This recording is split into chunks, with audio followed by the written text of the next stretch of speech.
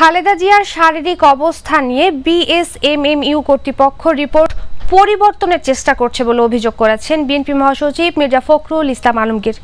রাজধানীর একটি হোটেলে আন্তর্জাতিক মানবাধিকার দিবস উপলক্ষে আয়োজিত আলোচনা সভায় তিনি এই অভিযোগ করেন। সরকার উন্নয়নের কথা বলে জনগণকে বোকা বানানোর চেষ্টা করছে বলেও মন্তব্য করেন মির্জা ফখরুল। জাহিদ আহমেদ বাবুর রিপোর্ট। মানবাধিকার দিবস উপলক্ষে আয়োজিত সেমিনারে কূটনীতিকদের সাথে কথা বলেন বিএনপির শীর্ষ পর্যায়ের নেতারা share market has been looted and there was a inquiry but government did not take any action.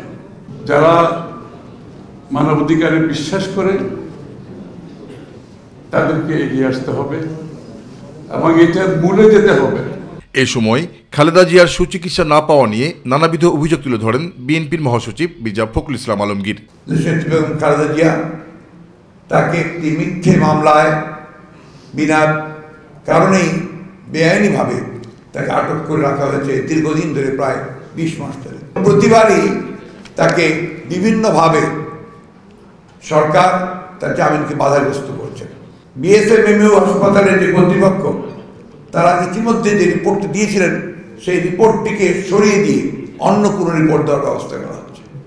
দেশের গণতন্ত্র প্রতিষ্ঠায় আন্দোলনের মাধ্যমে সকলকে একযোগে কাজ করার আহ্বান জানান মির্জা ফখরুল ইসলাম আলমগীর।